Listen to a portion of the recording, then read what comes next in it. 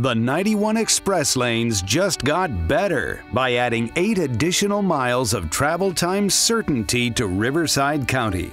With the new extension, the express lanes offer 18 miles of stress-free travel between Orange and Riverside counties.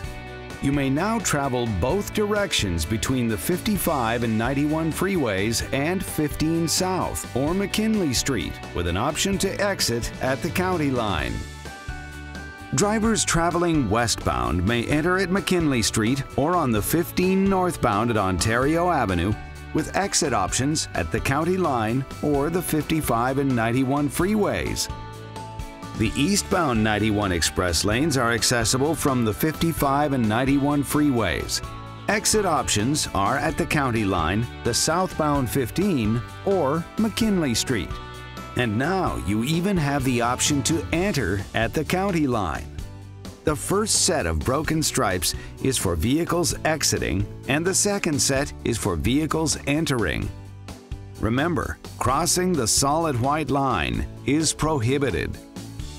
Using the express lanes is easy. A properly mounted FasTrak transponder issued by any California toll agency is required.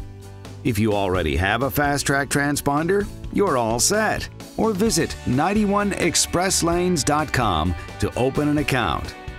Traveling with three or more?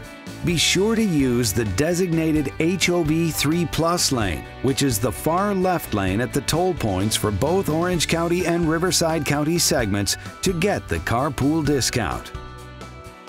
All vehicles, including carpoolers, must have a properly mounted FasTrak transponder. You cannot pay a toll by license plate or with cash.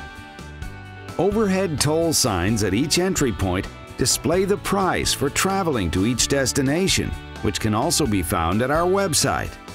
For example, when entering at the 55 and 91 freeways headed eastbound, the sign will display the price for traveling to the county line, the I-15, and McKinley Street. The price posted on the sign at your point of entry is the price you will be charged.